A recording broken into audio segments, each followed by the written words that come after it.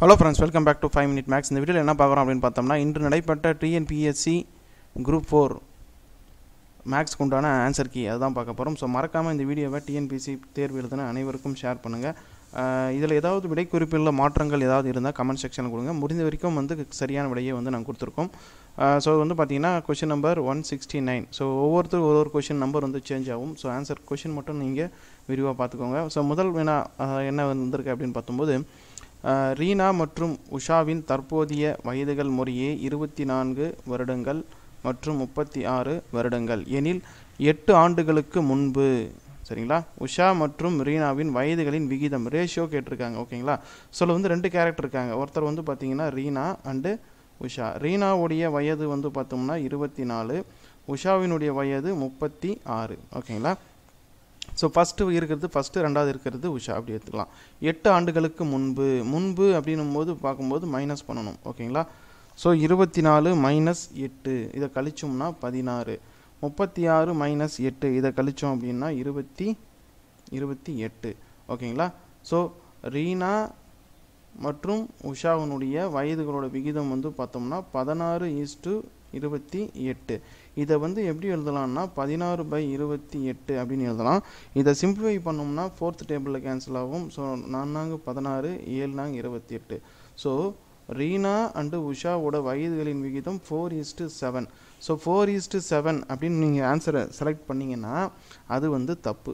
ஓகேவா இங்கே நல்லா கவனிக்க வேண்டிய விஷயம் என்ன கொடுத்துருக்காங்க அப்படின்னு பார்த்தோம்னா உஷா மற்றும் ரீனாவின் வயது விகிதம் கேட்குறாங்க அப்போ என்ன கேட்குறாங்கன்னா உஷாவுக்கும் ரீனாவுக்கும் வயது விகிதம் என்ன? அதுதான் கேட்டிருக்காங்க. அப்போ உஷாவோட உஷாவின் வயது விகிதம் வந்து பார்த்தோம்னா செவன் ரீனாவோட வயது விகிதம் பார்த்தோம்னா four so seven is to four இதுதான் வந்து கரெக்டான ஆன்சர் ஆப்ஷன் ஏ நீங்கள் டி போட்டிருந்தீங்கன்னா அது ராங் ஓகேங்களா ஸோ ஆப்ஷன் ஏ தான் வந்து சரியான விடை. ஸோ அடுத்த கொஷின் பார்க்கலாம். ஸோ நெக்ஸ்ட் கொஷின் பார்த்தோம்னா ஏறு வரிசையில் எழுதுக. ஓகேங்களா அரேஞ்ச் த அசண்டிங் ஆர்டர் ஓகேங்களா ஏறு வரிசையில் எழுதுக. ஸோ என்னென்ன கொடுத்துருக்காங்க அப்படின்னு பார்க்கும்போது three by four comma one by two comma five by eight ஓகேங்களா ஒன்றும் இல்லை எல்சிஎம் எடுக்கணும். எல்சிஎம் வந்து எதுக்கு எடுக்கணும்னா ஃபோர் டூ எயிட் இதுக்கு வந்து எல்சிஎம் எடுக்க போகிறோம் ஓகேங்களா ஸோ ரெண்டாவது போட்டோம்னா டூ ஒன் ஃபோர் அகைன் வந்து டூ டேபிளில் போட்டோம்னா ஒன் ஒன் டூ ஓகேங்களா ஸோ டூ அப்போது எல்சிஎம் வந்து நமக்கு என்ன வரும்? ரெண்டு ரெண்டு நாலு நாலு ரெண்டு எட்டு. ஓகேங்களா? எல்சிஎம் வந்து எட்டு. அப்போது மூணு பை நாலு. பகுதி வந்து எட்டு வரணும். அப்போ பகுதி எட்டு வரணும்னா நான் மேலேயும் கீழே ரெண்டால் பெருக்கிறேன். ஸோ மூணு ரெண்டு ஆறு நாலு ரெண்டு எட்டு. அடுத்த நம்பர் அடுத்து வந்து ஒரு பின்ன என்ன என்ன இருக்குது அப்படின்னா ஒன் பை டூ ஸோ பகுதி எட்டு வரணும் அப்படின்னா நான் மேலேயும் கீழே நாலால் பெருக்கணும். ஸோ நாலு ஒன் நாலு ரெண்டு நாங்கள் எட்டு. அடுத்து வந்து பார்த்திங்கன்னா ஃபைவ் பை எயிட் இது வந்து ஆல்ரெடி வந்து ஃபைவ் பை எயிட் இருக்கிறதுனால ஃபைவ் பை எயிட்டு நான் போட்டுக்கிறேன். இப்போ நமக்கு புதுசாக கிடச்சிருக்கிற பின்னம் என்ன அப்படின்னு பார்த்தோம்னா six by eight four by eight five by eight இப்போ பாருங்கள் பகுதி எல்லாமே ஒரே நம்பராக வந்துடுச்சு. அப்போது தொகுதியில் எது பெருசோ அதுதான் ஏறு வரிசையில் எழுதணும். ஓகேங்களா? அப்போ எது பெரியது? சிக்ஸ் பை எயிட்டு இது வந்து ஃபஸ்ட்டு வந்துடும் அதுக்கப்புறம் ஃபைவ் பை எயிட் இது செகண்ட் வந்துடும் ஃபோர் பை எயிட் இது தேர்டு வந்துடும் அப்போது நீங்கள் சிக்ஸ் பை எயிட் போடக்கூடாது. அதனுடைய மூல எண் வந்து என்ன? நமக்கு த்ரீ பை ஃபோர் கமா அடுத்து செகண்ட் என்ன இருக்குது ஃபைவ் பை எயிட் கமா அடுத்து தேர்டு வந்து ஒன் பை டூ ஓகேங்களா so three by four five by eight third வந்து கடைசியாக வரக்கூடியது ஒன் பை டூ ஸோ ஏறு வரிசை அப்படின்னு பார்க்கும்போது இது வந்து பார்த்தோம்னா ஆக்சுவலாக வந்து ஏர் வரிசை அப்படின்னு பார்க்கும்போது சின்னதுலேருந்து பெருசு எழுதணும் ஓகேங்களா? இது வந்து பெரிய நம்பர் இறங்கு வரிசையில் போட்டிருக்கோம். அப்போ சின்னதுலேருந்து பெரிய நம்பராக வரணும். ஏறு வரிசைனா அசண்டிங் ஆர்டர் ஓகேங்களா? அப்போது எது சின்ன நம்பர்? ஒன் பை டூ சரிங்களா? One by two five by eight three by four one by two five by eight three by four இதுதான் வந்து சரியான விடை. ஓகேங்களா? ஸோ ஏறு வரிசை ஏறு வரிசை அப்படின்னு பார்க்கும்போது சிறிய நம்பர்லேருந்து பெரிய நம்பருக்கு போகணும். அப்போ இதுதான் சரியான விடை. ஓகேங்களா? அடுத்து பாருங்கள் டி டுவெண்ட்டி மட்டைப்பந்து போட்டியில் ராசு ஐம்பது பந்துகளை எதிர்கொண்டு பத்து முறை ஆறு ஓகேங்களா? ஓட்டங்களை எடுத்தார் எதிர்கொண்டார். ஓகேங்களா? சமவாய்ப்பு முறையில் ஒரு பந்து எடுக்கிறாங்க. அதில் வந்து ஆறு ஓட்டங்கள் இருப்பதற்கான எடுக்காமல் இருப்பதற்கான நிகழ்த்தகவு என்ன அப்படின்னு கேட்டிருக்காங்க. ஓகேங்களா? ஸோ மொத்தம் வந்து எத்தனை பால் அப்படின்னு பார்த்தோம்னா ஃபிஃப்டி பால். அதில் ஐம்பது பந்துகள் இருக்குது சரிங்களா? அதில் வந்து பார்த்தோம்னா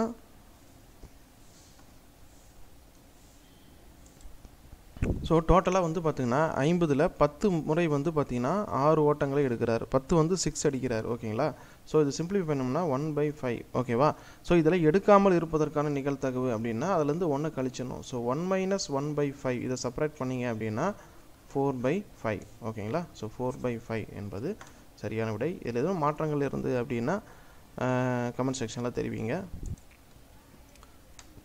ஸோ அடுத்த கொஷின் வந்து பார்த்திங்கன்னா ரூபாய் ஏழாயிரத்தி ஐநூறுக்கு ஓகேங்களா? ரூபாய் ஏழாயிரத்தி ஐநூறுக்கு எட்டு சதவீதம் வட்டி வீதம் ஒரு வருடம் ஆறு மாதங்களுக்கு தனி வட்டி என்ன? சிம்பிள் இன்ட்ரெஸ்ட் அதான் கேட்குறாங்க ஓகேங்களா? ஸோ வந்து பிரின்சிபல் அமௌண்ட் வந்து பார்த்திங்கன்னா ஏழாயிரத்தி ஐநூறு. ரேட் ஆஃப் இன்ட்ரெஸ்ட் வந்து பார்த்தோம்னா எட்டு சதவீதம். அந்த காலம் ஆண்டுகள் வந்து பார்த்திங்கன்னா ஒன் இயர் சிக்ஸ் மந்த்து ஓகேவா? ஸோ இதை எப்படி எழுதலாம் அப்படின்னு பார்த்தோம்னா ஒரு வருஷம்னா பன்னெண்டு மாதம் ஆறு மாதம் அப்படின்னு கூட்டும்போது பதினெட்டு மாதங்கள் ஓகேங்களா? ஸோ டோட்டல் மந்த் வந்து பார்த்தோம்னா பதினெட்டு மாதங்கள் ஓகேங்களா? ஸோ அதை தான் வந்து அப்படி கொடுத்துருக்காங்க எயிட்டீன் மந்த்து ஸோ இப்போ என்ன பண்ணலாம் அப்படின்னு பார்த்தோம்னா பிஎன்ஆர் பை ஹண்ட்ரட் ஸோ ஏழாயிரத்தி ஐநூறு. காலம் வந்து பார்த்தோம்னா பதினெட்டு மாதம். ரேட் ஆஃப் இன்ட்ரெஸ்ட் வந்து பார்த்தோம்னா எட்டு. Divided by hundred into twelve இந்த டுவெல் ஏன் போடுறேன் அப்படின்னு பார்த்தோம்னா இது வந்து மந்த் இருக்கு இல்லையா? ஸோ இது வந்து எயிட்டீன் மந்த்து அதனால் டிவைடட் பை டுவெல் இயராக கன்வெர்ட் பண்ணுறதுனால divided by twelve so eighteen by twelve ஓகேவா ஸோ ஜீரோ ஜீரோ கேன்சல் இங்கே கேன்சல் பண்ணிக்கலாம். அதே போல் இது வந்து எயிட்டீன் எயிட் பர்சன்டேஜ் இதை கேன்சல் பண்ணோம்னா ஃபோர் டைம்ஸ் வரும். இங்கே சிக்ஸ் டைம்ஸ் வரும். அதே போல் இது டூ டைம்ஸு இங்கே த்ரீ டைம்ஸ் வரும். ஸோ ஒரு மூணு மூணு ஆறு மூணு பதினெட்டு. ஸோ எழுபத்தி ஐந்து இன்ட்டு ஆறு இன்ட்டு ரெண்டு. ஸோ எழுபத்தி அஞ்சு இன்ட்டு ஆறு ரெண்டு பன்னெண்டு. எழுபத்தஞ்சு இன்ட்டு பன்னிரெண்டு. இதை மல்டிபிள் பண்ணோம் அப்படின்னா நைன் ஹண்ட்ரட் வரும். இதுதான் வந்து சிம்பிள் இன்ட்ரெஸ்ட் ஓகேவா ஆப்ஷன் டி அடுத்து பாருங்கள் ஒரு ஷார்ட்கட் வேலை போடக்கூடிய ஒரு கணக்கு. கிரிக்கெட் வீரர் டோனியின் முப்பது ஆட்டங்களின் சராசரி ஓட்டம் ரன் வந்து பார்த்தோம்னா எழுபத்தி ரெண்டு என கணக்கிடப்பட்டிருந்தது. முப்பத்தி ஓராவது ஆட்டம் நடைபெற்ற பின் அவருடைய சராசரி ஓட்டம் எழுபத்தி மூணாக உயர்ந்தது. முப்பத்தி ஓராவது ஆட்டத்தில் அவர் எடுத்த ஓட்டங்கள் எத்தனை அப்படின்னு கேட்டிருக்காங்க. ஸோ வந்து பார்த்திங்கன்னா முப்பது ஆட்டத்தில் அவருடைய ஆவரேஜ் ரன் வந்து பார்த்தோம்னா செவன்ட்டி டூ முப்பத்தி ஓராவது ஆட்டத்தில் ஓகேவா அவருடைய ஆவரேஜ் வந்து பார்த்தோம்னா எவ்வளோவா இருக்குது அப்படின்னு பார்த்தோம்னா இது வந்து ஒரு ஷார்ட்கட் வே இருக்குது ஸோ எப்படி போடலாம் அப்படின்னு பார்த்தோம்னா முப்பத்தி ஓராவது ஆட்டத்தில் எவ்வளோ எழுபத்தி ரெண்டு அப்படிங்கிறது எவ்வளோ மாறி இருக்குது இங்கே பாருங்கள் முப்பது முப்பது ஆட்டங்களில் அவரோட ஆவரேஜ் வந்து செவன்ட்டி டூ முப்பத்தி ஓராவது ஆட்டத்தில் ஆவரேஜ் செவன்ட்டி த்ரீ எவ்வளோ டிஃப்ரென்ஸ் இருக்குது ஒரு ரன் வித்தியாசம் இருக்குது ஓகேவா ஸோ முப்பது ஆட்டத்தில் எழுபத்தி ரெண்டு முப்பத்தி ஓராவது ஆட்டத்தில் ஒன்று இன்க்ரீஸ் ஆகுது. ஸோ முப்பத்தி ஒன்று இன்ட்டு ஒன்று முப்பத்தி ஒன்று இது அப்படியே கூட்டிக்க வேண்டியது தான் so one not oh three so நூற்றி மூணு. இதுதான் வந்து சரியான விடை. இது வந்து ஒரு ஷார்ட்கட் வே? ஓகேவா எவ்வளோ டிஃப்ரென்ஸ் வருதோ அதை மல்டிபிள் பண்ணிக்கணும். இது ஃபஸ்ட்டு முப்பதாவது மேட்ச்சு முப்பத்தி ஓராவது மேட்ச்சில் எவ்வளோ டிஃப்ரென்ஸ் வருது? எழுபத்தி ரெண்டுக்கும் எழுபத்தி மூணுக்கும் ஒன்று அதை பெருக்கணும்னா முப்பத்தி ஒன்று ஸோ அதுக்கப்புறம் கூட்டிக்கிறோம். கூட்டினோம்னா நூற்றி மூணு. அப்போ நூற்றி மூணு எடுத்தாருன்னா அவரோட ஆவரேஜ் எழுபத்தி மூணாக இருக்கும். இது ஒரு ஷார்ட்கட் வே மெத்தட் ஓகேவா அடுத்து பாருங்கள் ஒரு ஆவரேஜ் பேஸ் பண்ணி ஒரு சம் கேட்டிருக்காங்க. ஒரு குறிப்பிட்ட வாரத்தில் நகரத்தின் அதிகபட்ச வெப்பநிலை வந்து கொடுத்துருக்காங்க. ஓகேவா அதனுடைய சராசரி வெப்பநிலை என்ன அப்படின்னு கேட்டிருக்காங்க.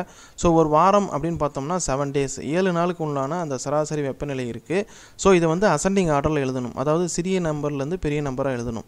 ஸோ அப்போ ஃபஸ்ட்டு எது வரும் அப்படின்றத நம்ம எழுதணும். ஸோ ஃபஸ்ட்டு முப்பத்தி ரெண்டு புள்ளி எட்டு ரெண்டாவது முப்பத்தி மூணு புள்ளி நாலு டிகிரி செல்சியஸ் மூணாவது முப்பத்தி நாலு புள்ளி மூணு. ஸோ அது மாதிரி ஆவரேஜாக எழுதிட்டிங்கன்னா ஏழு நாள் வரும். ஏழு நாளில் ஆவரேஜ் வந்து பார்த்திங்கன்னா ஃபோர்த் டே தான் ஆவரேஜ் ஓகேவா ஸோ முப்பத்தி நாலு புள்ளி ஏழு டிகிரி செல்சியஸ்